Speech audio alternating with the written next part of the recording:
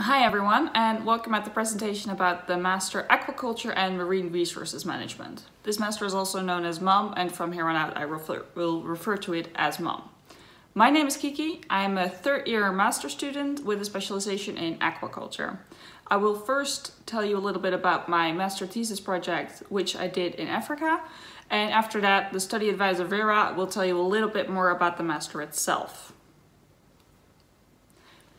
So, for my master thesis project, I went to Zambia. I was there uh, the past half year. I was there for four months in total. Uh, and what I did there, I assessed whether or not lowering the uh, dietary protein level in tilapia feed has a positive effect on primary production in the pond, which then in turn would be good again for fish growth. Uh, this was a highly relevant topic because of the pricing and sustainability issues with protein in, in fish feed. And honestly, when I was there, I just, I had the most amazing time. I got to design and build the ponds that I was using. I had to feed my fish every day, measure the water quality every day, and I had a lot of people helping me and I made a lot of good friendships with Dutch people I met there. I, Dutch people are everywhere, but also a lot with local Zambians. And they are the warmest, kindest people I've ever met. They were there every time I was feeling a little bit down or I was a little homesick and they're just so kind, they're so friendly. And that is actually also one of the things that I love most about this master's. One, of course, is the international aspect, but the other is the, the bond that you get with all these students here. Because a lot of the courses are compulsory, um, it's really easy to make a good bond with people. Everyone sort of knows each other and some of my best friends now I'm actually met through this master's the group is so diverse with so with ecology, governance, and aquaculture, and that's really what makes MAM a special, like a cool study to do. You learn so much from each other. Thank you for sharing your story, Kiki. My name is Vera. I'm a study advisor, and I will tell you more about the Master Aquaculture and Marine Resource Management. First of all, why are you considering this master? Think about it for a moment. What is your personal learning objective?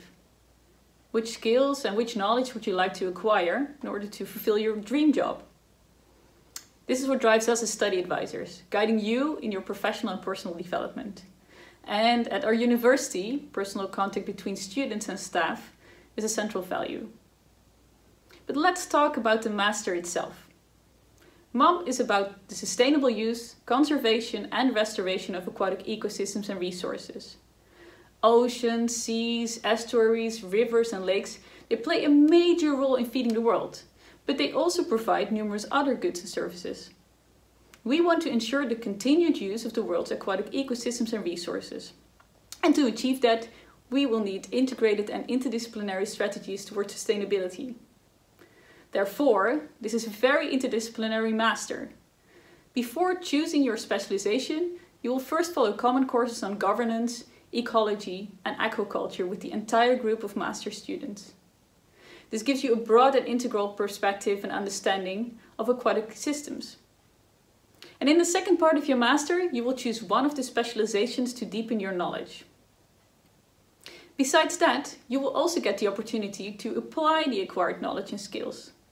In the course Academic Consultancy Training, for example, in that course, you will do a real-life project for an organization outside the university, and you do that with a group of students from different backgrounds. And in your internship, you will apply your academic skills at an organization of your choice. There are a lot of opportunities for international internships and theses. For example, Kiki went to Zambia, but Wageningen University has connections with organizations all over the world. Are you interested? Do you want to know more? Then check out the PowerPoint with more details about the master. For example, information about specialization and admission requirements. And if you have any questions, please contact the students and the study advisor via the chat. We hope to welcome you someday and I wish you good luck with choosing a master.